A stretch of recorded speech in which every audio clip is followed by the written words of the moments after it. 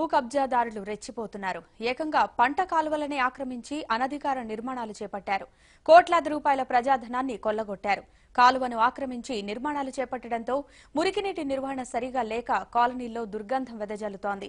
కాలువల ఆక్రమణతో వర్షాకాలంలో నీటి ముంపు పొంచి ఉందని నిపుణులు హెచ్చరిస్తున్నారు.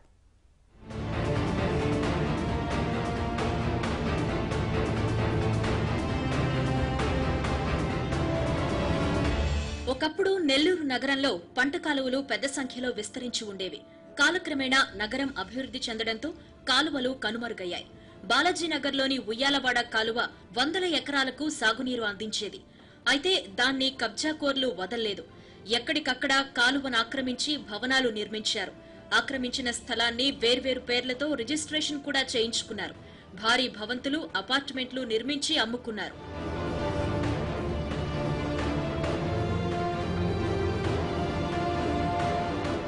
అక్రమ స్థలాలకు రిజిస్ట్రేషన్లు అనుమతులు ఎలా వచ్చాయనేది అంతుపట్టని ప్రశ్నగా ఉంది. కొన్ని ఏరియాల్లో కాలువ ఆనవాళ్ళే లేకుండా చేశారు. ఒకప్పుడు ఈ ప్రాంతంలో కాలువ ఉందని అనుమానం రాకుండా భవంతులు నిర్మించారు. కాలువలో నీరు పారిన దృశ్యాన్ని కళ్ళారా చూసిన వారు ఈ ఆక్రమణలను చూసి తట్టుకోలేకపోతున్నారు.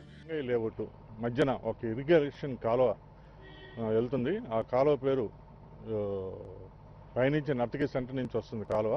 ఆ కాలువ ఉయ్యాల కాలువ అనే పేరుంది.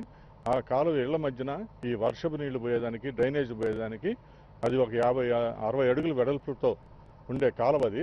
ఆ కాలువని ఈరోజు లాస్ట్కి అందరూ ఆక్రమణలు చేసుకుంటూ లాస్ట్కి ఒక ఆరు అడుగులు ఏడు అడుగులు కాలువకి తీసుకొని వచ్చారు.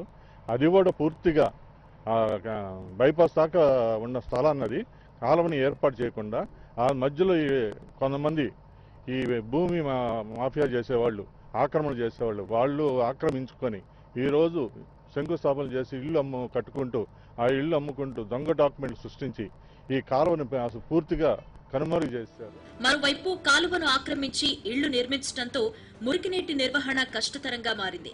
ఇళ్ళలో నుంచి నీరు బయటకు వెళ్ళే మార్గం లేక స్థానికులు ఇబ్బంది పడుతున్నారు. వర్షాలు వస్తే రోడ్డు మీదకి నీళ్ళు వచ్చేస్తున్నాయి.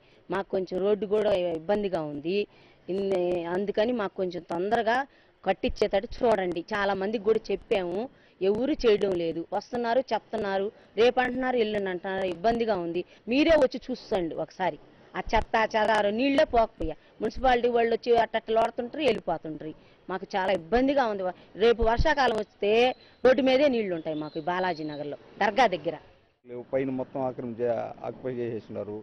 పట్టించుకునేవాళ్ళు లేరు. అందరికీ చెప్పాము గమ్మైపోయాము ఇప్పుడు ఈ ఏ రోజైనా ఇప్పుడు వర్షాకాలం కాదు కాబట్టి బతికిపోతున్నాం. మళ్ళీ రేపు వర్షాలు వచ్చి వర్షాలు స్టార్ట్ అయ్యంటే రెండో మనిషి నాగర్లాగా అయిపోద్ది. డ్రైనేజీ మాత్రం మొత్తం పై ఒక్క మొత్తం ఆక్రమించేసుకొని ఇళ్ళు కడుతున్నారు. ఇప్పుడు కట్టకుండా చేస్తే కానీ రేపు నీళ్ళు పోకుండా ఉంటాయి కానీ ఇప్పుడు మనం వదిలేసుకొని గమ్ము ఉంటే పట్టుకలు కట్టుకున్న పాట రేపు పగల కొట్టాలన్న బాధ నీళ్ళు పోవాలంటే మాకు ఇబ్బంది. ఇప్పుడైనా ఈ డ్రైనేజీ నీళ్ళు ఆడ గడ్డికయ్యోళ్ళు మోటార్లు పెట్టి నీళ్ళు కొట్టుకుంటున్నారు కాబట్టి మాకు పైకి రాకుండా ఆగిపోండాయి. రేపు అది వాళ్ళు వర్షాకాలం వస్తే వాళ్ళు నీళ్ళు వాళ్ళు ఆపేస్తారు పానీరు కాలువలు. అప్పుడు మొత్తం పైకి పొంగుతాయి. వర్షాల నీళ్ళు డ్రైనేజీ నీళ్ళు మొత్తం పైకి వచ్చాయి అనుకో. ఎట్ట ఉంటారు జనాలు? ఉయ్యాలవాడ కాలువ ఒక్కటే కాదు నగరంలో విస్తరించిన చాలా కాలువలు కబ్జా అయ్యాయి.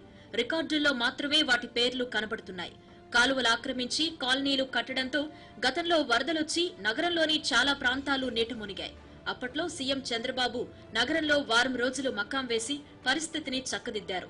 కాలువల ఆక్రమణలను తొలగించాలని ఆదేశించారు. కానీ ఇప్పటికీ పరిస్థితిలో మార్పు రాలేదు. అధికారులు కబ్జా వ్యవహారాన్ని సీరియస్గా తీసుకోకపోతే నగరానికి ప్రమాదం పొంచి ఉన్నట్లేనని నిపుణులు హెచ్చరిస్తున్నారు.